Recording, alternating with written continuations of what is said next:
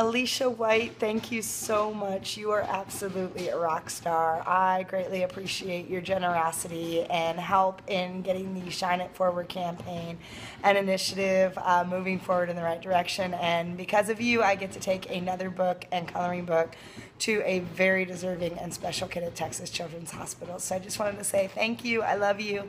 And I hope you're having a great night.